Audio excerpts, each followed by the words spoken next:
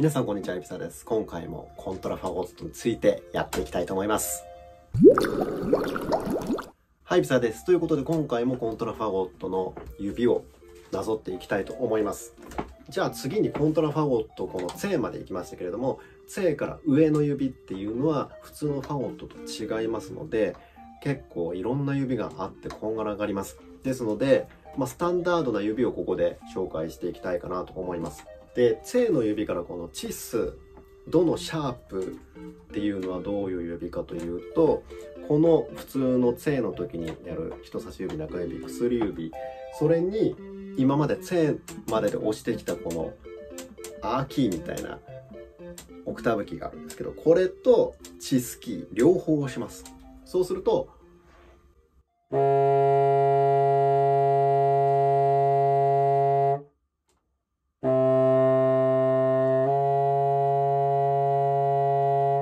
いうふうに半音上がります。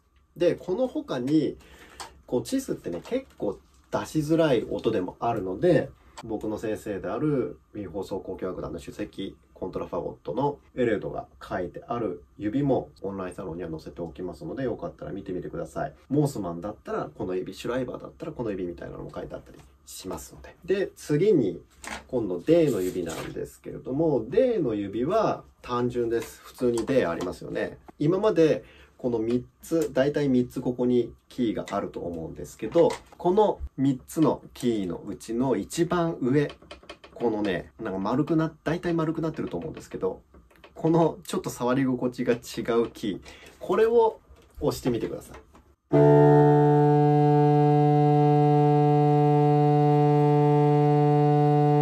という風に D が出ます。で、これもね、楽器によってリードによって全然出しづらかったりするんですよね。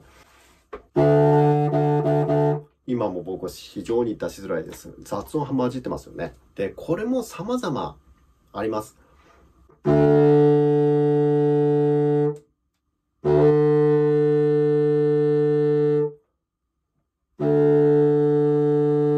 それぞれ音が違うと思いますけど、まあ、こっちはね、変わんないんですけど、右手でいろいろつけて音程が変わったり出しやすさが変わったり、それも楽器によって違いますので、そこら辺もぜひいろいろ試してみるといいと思います。で、僕が今手元にある指は基本的にオンラインサロンの方には全て載せておきます。さあ次、S または Dis なんですけれども、これは結構違いますね。こっち側は中指だけ。中指だけで、で、右手のさっきも押してた一番上のキーを押すと、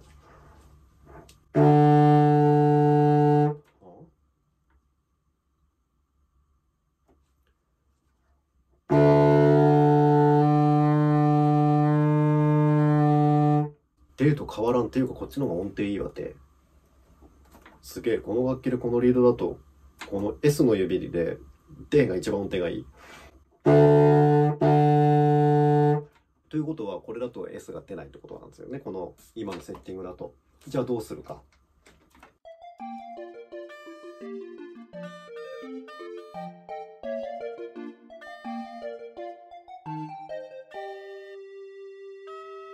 あ、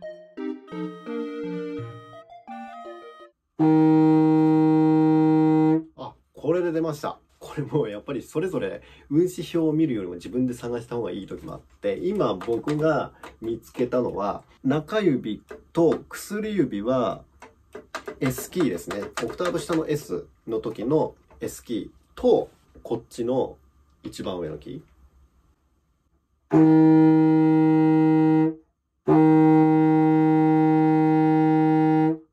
かなり低めに取んないと S にならないんですけど、まあ許容範囲かなって感じですね。見つけました。今、今のこの僕のリードとアマティで出る S っていうのはこの形でした。その他にも S は本当にね、出しづらくていろんな指があるので、本当に試してみるといいと思います。今僕、ヘッケルの運指表とエレードにもらった運指表、両方見ながらやってるんですけれども、このヘッケルの方にも S はかなり書いてあります。ですので、それだけやっぱり出づらい指なんですよね。なので、まあそちらも載せておきますので、よかったら見ててください。えー、次 A なんですけど、A も一番簡単な指は、普通に人差し指に一番上のキーです。そうすると、あ、これは気持ちよく出るな。これで出れば一番簡単です。で、これで出ない場合は、めっちゃ低かったらこういう、このぐらい高くなるような指にしたりだとか、それから、これも高いな。だから、かなり低く A がはまってしまう人なんかには結構高くなる指っていうのは多そうですね。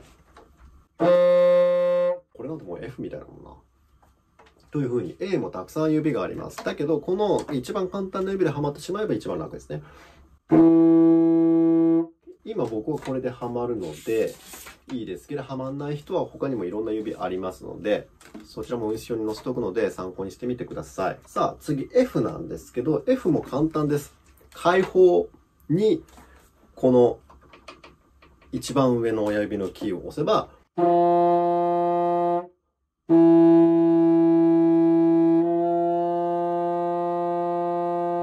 これだとかなり低いですね。今の僕のセッティングだと低いので、低い場合の指。あ、これぴったり。というように、これも指たくさんありますので、そちらも載せておきます。さあ次、フィスなんですけれども、ここは結構低いけど、なんとか上に持っていけばフィスが出るって感じ。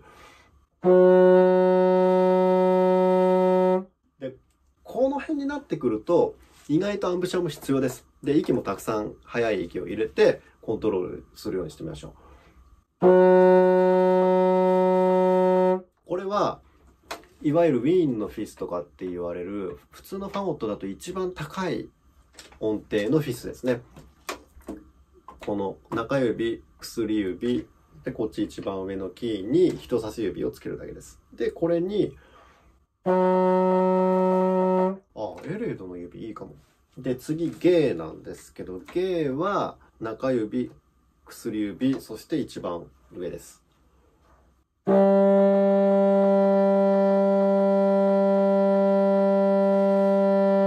で、大体これはね、ハマりやすかったりします。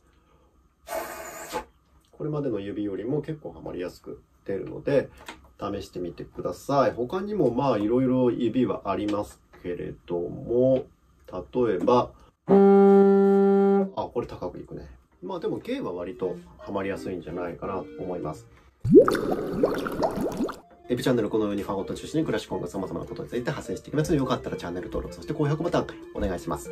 またオンラインサロンもやっておりますので、さらに深く情報を知りたいという方はぜひ概要欄から月額1000円のオンラインサロン入会してみてください。